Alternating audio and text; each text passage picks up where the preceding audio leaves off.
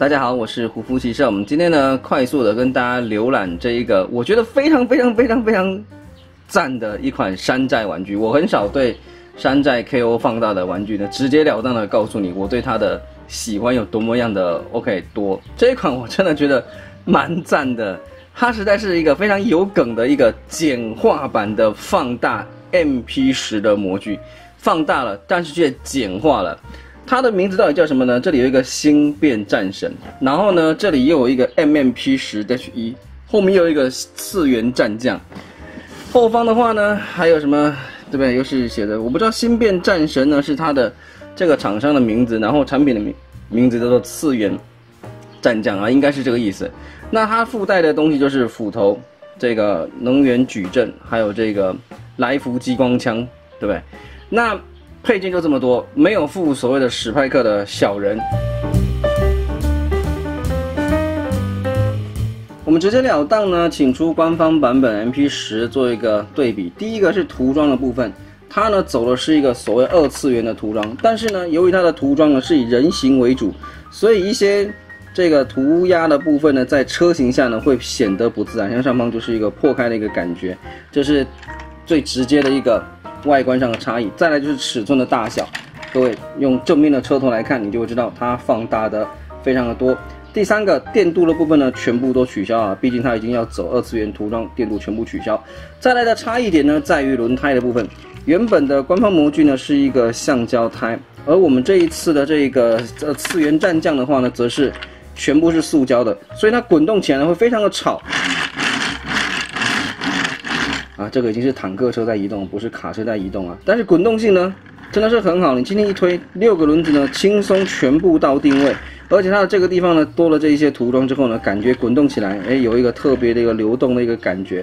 再下一个改良点呢，也不能讲改良啊，应该是说变化点。这个地方烟囱原本的模具烟囱可以上下伸长缩短，它的话呢，直接。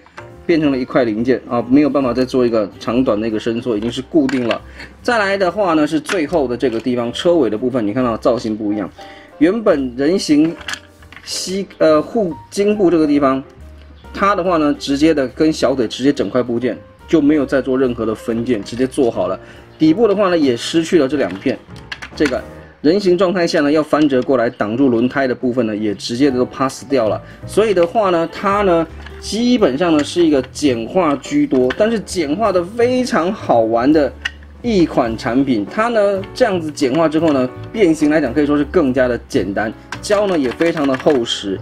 前面的这个挡风玻璃其实它是透明件，这里看到没有，水蓝色的透明件，只是前方有涂上一个二次元的涂装。车子的一个接缝呢，可以给各位看一下。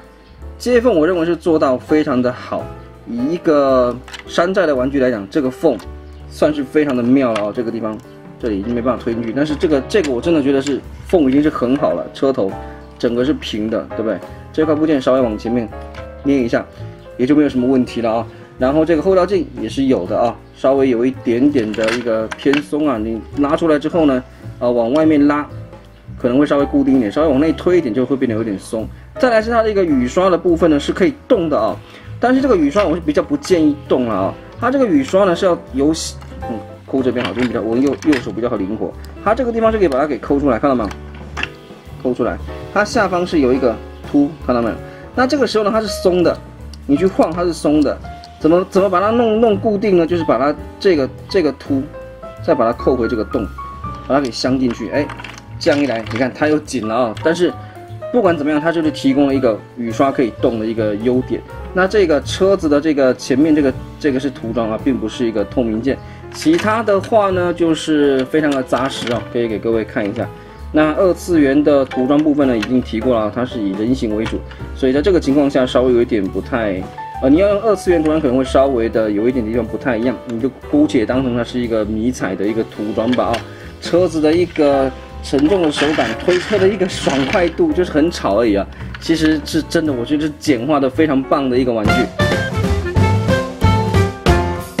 变形来讲的话呢，是更加的简单了啊。首先的话呢，我们把这个油箱的部分呢往后面推下来，压到最下面啊。它这个最压到最下面之后呢，只能跟这里稍微去接触到位，并不能够卡住啊。你只要知道就可以了。再来是一个改变很大的一个地方，腿部的话，因为整个简化。再来一下这个腿哦，这个拉出来这个一下呢，哇塞，这简直是流畅。我刚刚呢，并没有去压后面这个地方，你要往内、往外、往内、往外、往内按下去，往外直接拉出来，哦非常的流畅。这个 不费吹灰之力，但是呢，你拉出来之后呢，你听到你这样推，你看。它是退不回去的，你就知道它的一个这个地方的一个爽快度、舒适度是非常够的。脚底这一块部件呢是一个合金的部件啊，然后两条腿就这么变完了，因为这个部件呢也也也也不需要从这翻过来了，并并没有那个东西啊，那不对不对不对，要说从这里翻到这里啊，遮盖这个轮胎没有，轮胎就直接露在外头了。那再来是它的一个身体的部分，这个地方呢两侧呢是有一个结合卡扣的这个地方。啊，这里有两个，这里有一个这个这个凸嘛，它要扣进去的。我们呢，先把它给腰部旋转吧。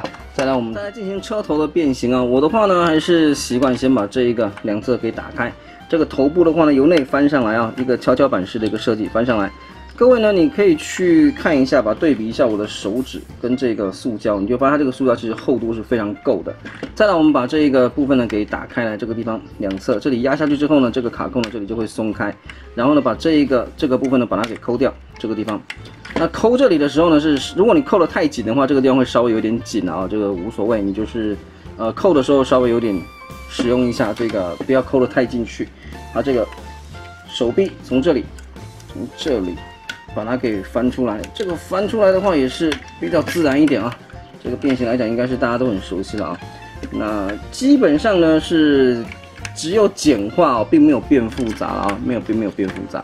呃，翻到这里，我们先把手的话呢给啊这个往下翻下去，手臂呢做一个旋转。这个这个拳头的话呢，比一般的这个山寨的一个变形来讲还要再简单一点点啊，并没有这个卡不卡。缝太大的一个问题，这个地方折进去，这里也是一样的，这里翻下来，翻折上去，扣起来，这一片记得把它给翻下来，手臂呢记得把它给伸长伸直，两侧给打开，这个部件呢放领导模块，这个部件呢就直接的往上面抬上去。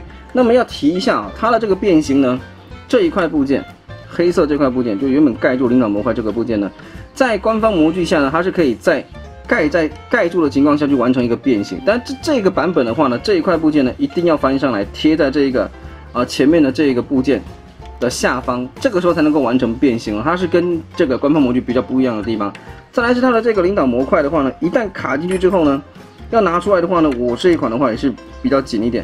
那给各位看一下，它这个领导模块有一点就真的是简化的比较 OK，唯一唯一被简化到比较没诚意就是这个啊，它是。一般我们这个各种 KO 版本的领导模块呢，是金属部件的，能够多重就给你多重。但是它的话就是是一个塑胶的哦，它是一个塑胶的部件。但是中间这个水蓝色还是很漂亮啊，刻画细节什么的。OK，稍微肉了一点，稍微肉了一点。但是呢，这个是山寨的玩具呢，你又在乎那么多干什么呢？这里把它给放进去啊，要放的很平稳才能够正正好放进去。然后这个部件呢，先把它给盖上吧啊。然后呢，我们就把这个两个，呃，不对不对不对，这个哎，胸口先收起来也无所谓啊。我们接下来的话就是把这个部件呢，来让该让人物站起来了啊。我们把人物站起来好了，这个镜头呢又要调高啊。这个大家伙就是拍起来有这么样的一个毛病，刚刚还故意把它给转下去啊，现在又把它给翻上来了啊。这里呢，直接的两侧稍微掰开一点之后呢，以这个地方这个转轴这个地方往后放之后呢，往前面推。推过来，然后呢，我们把这个部件，这个部件推到后方去，推到后方去，往中间折进来，把这个轮胎呢收到胸下，收到胸下，这样子，然后前方的部件呢往下面放下来，这里扣上去，扣进去，这里的变形跟原本的模具没有什么不同啊，所以也就不用特别多做太多的说明了。这个部件折进来，一样的往后面收上来，这里也是一样的啊，直接的。往上掰上去，那因为它本身呢没有电镀部件，然后这个漆面呢印刷也是蛮好的，所以所谓的一个怕刮伤这种情况呢，基本上是我认为是不存在了啊，不存在了啊。可以看一下，哇塞，这个这个背影有没有觉得很帅？MP 十啊，或者是叫做这个橘万形象的这个 OP 啊，就是帅气的吧？那我们呢先把这个武器的话，就这个枪呢。我干脆就把它收进去好了啊，这个也不用不用握在手上给大家看了。阿，富迪亚这个枪是不能发光的啊，这个盒会上面有发光，但实际上玩具的本体呢是不能够发光的。那我们的这一款这个呃次元战将的一个变形过程呢，就算是大功告成了。人形的体格呢，比原本的模具的话要大上了，可能放大将近有三分之一左右吧。然后整体的关节的紧实度啊，我认为觉得都是非常的好，而且它的关节算紧实，以及塑胶的厚度来讲的话呢，真的是可以让你去放心做一个把玩了哦。再来是它的一个这个原本官方模具这个食指容易喷溅这个状况呢，这样子看呢看不出来它有没有打桩哦。但是它就是不会掉，因为它非常的非常非常的紧实。OK，它是可以弯的，并没有，并不是说因为省略关节所以它不会掉，并不是，它真的这个关节还是有的，但是看不出来有一个打桩，看不出来。OK，其他的一些可动的话呢都没有被省略，腰部啊什么都没有。那脚的一个内侧造型会不太一样，对不对？这个原本的这个模具有省掉。那其他给各位听一下那个齿轮关节，侧面侧面没有。前后有，那中间这个地方是没有，没有齿轮声音的，没有。主要是前后侧踢的话就没有了啊。那这个脚踝的话呢，则是非常的紧，这个地方的关节。那这个涂装的话，就是所谓的二次元的涂装。然后这一块部件呢，由于跟下方的没有办法扣紧，可能是比较容易去把玩的时候比较去松松移推动到的地方。那它有一个很大的一个，呃，算是唯一增强的地方是这个头部吧。按了之后呢。会有一个发光的一个头部，会发光，OK，二次元涂装，然后眼睛会发亮啊，盖起来，这样子。但是这个会发光的眼珠子就是会有一个毛病，就是说你不发亮的时候呢，会是一个黑色的啊，感觉好像已经挂点的一样。但是亮起来之后呢，就是魄力感觉就会比较强悍。最后要讲的一块部件呢，是它的能量斧，它的能量斧呢。做了改良，它不再是软胶，它是一个硬的硬的塑胶。但是它，你看那个没有？它这个造型，它做的是一个可以握的一个 能量斧，而不是从这个呃手上面去长出来的啊，这样子直接的去把它给握紧的一个斧头。OK，这个这个这个好吧，也算是提供一个新的玩法就是了。整体来说呢，这一款这个呃后面有写的什么越战越帅的这一款什么次元战将这个玩，我这个玩具是真的就是。简化了一些原本 MP 十的东西，然后做成更厚、更大的、更重的，眼部会发光的一款，真的 用来抵抵挡熊孩子们、抵抗小朋友们这个入侵的一个第一道防线了。这个。这个东西完全是有这个分量啊！我我自己觉得说玩起来都觉得很疗愈，就是一个可以让你用这个拇指的这个肉用力的去推移的一款玩具了啊！尽管呢，它有一些地方没办法扣稳啊，或者是这个地方侧踢，或者是这个地方没有齿轮关节的声音，但是以一个山寨的一个玩具来说的话，这一款已经是做到非常非常棒的了啊！